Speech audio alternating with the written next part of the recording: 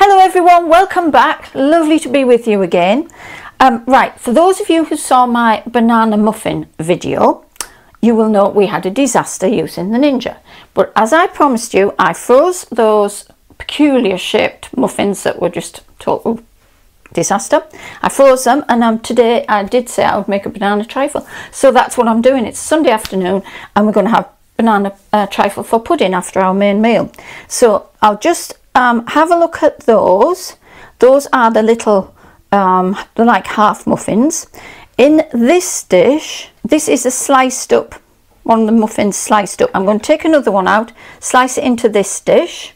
So I'm going to get that one, okay. Like I say, what, how peculiar, but they actually taste lovely. So I'm just going to cut off little chunks. I think one of these per trifle dish is more than enough. And they taste amazing. I mean, they actually, you know, what it would have been dreadful to throw them out. So this is a lovely way of using them up. You can't actually give them to anyone because they look bizarre. Right, okay. So that's that into there. So my next, now you don't have to do this part of it, but I always like to moisten a sponge. I usually use sherry if I'm just doing sherry sponge, uh, sherry trifle.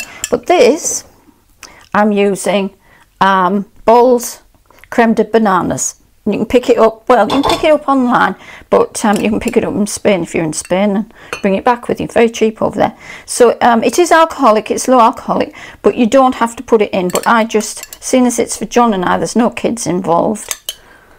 And it just tastes like, um, it enhances the banana flavour, but also it moistens the um, little muffin up a bit. Okay, that's all you need.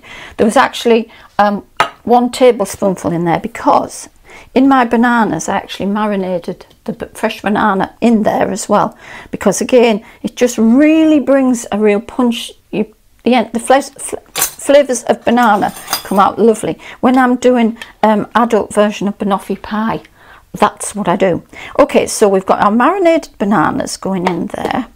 But you can perfectly simple, if you're just doing this for your kids on a Sunday, you just use ordinary fresh bananas. You could always use a little bit of a toffee sauce in there with the sponge. How yummy would that be?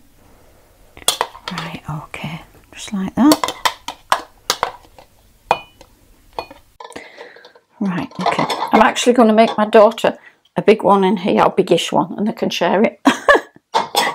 right, okay, so we've got that far. Our next job is the custard. Now, I'm not making my own custard today. You can.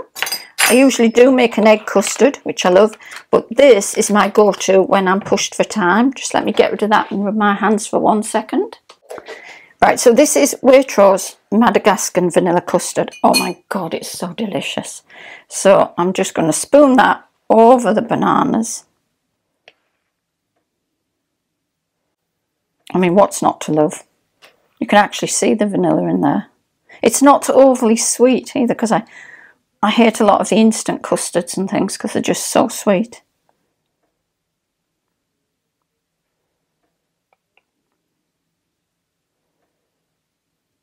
Right, next job is going to be cream. So this is, now my husband likes double cream whipped. It makes it heavier. So I am hoping this is not going to sink and collapse on here. I would tend to use my squirty cream. I use President, um, it has vanilla in it and it's absolutely beautiful. So I'm just going to get another spoon because I'm unsure of the weight of this cream.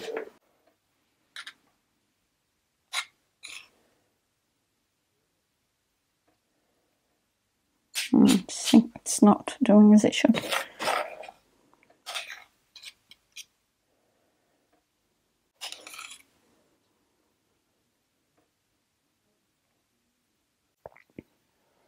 Yep, that looks quite nice. I'm quite happy with that. My next job is I'm going to put, these are cocktail cherries. Now, I absolutely love these, especially when I'm having a cocktail. Um, and what's, you know, cherries, bananas, and good old Cadbury's flake. Now, you can, if you wish, if you're doing this for children, and you, as I say, you're not going to have that alcoholic bit to make it syrupy in the bottom. You could put a, a, toffee sauce, but you could also then put your bananas and shred chocolate Cadbury's flake over the top before your custard goes on. So as you're digging in, you can multi-layer these things and really have fun.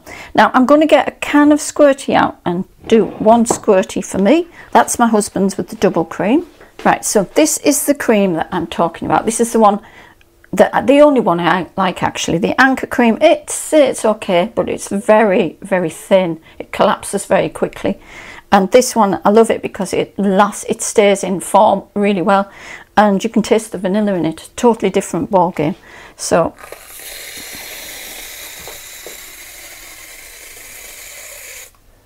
now that to me looks lovely. Right, okay, and here we go again. And a few cherries. Some chocolate.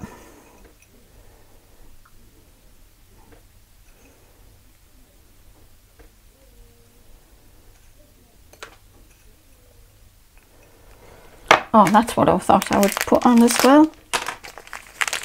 Just give it another little texture. Pistachios. Finely chopped pistachios.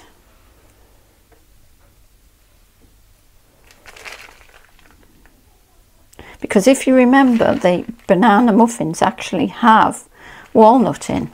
So, you know, so you're bringing in that element of nut again, but on the top.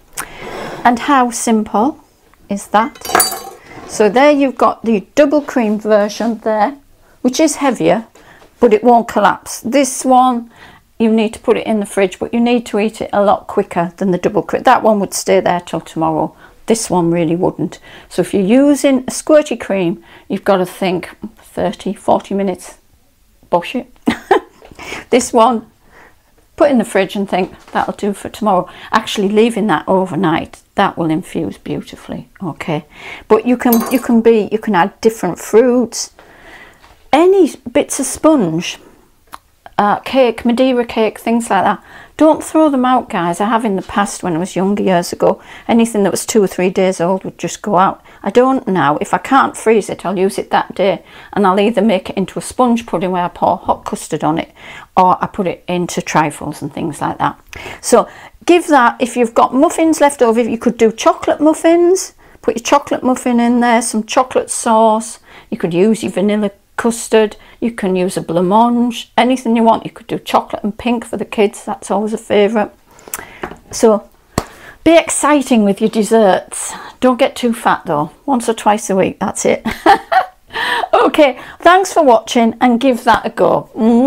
Bye for now.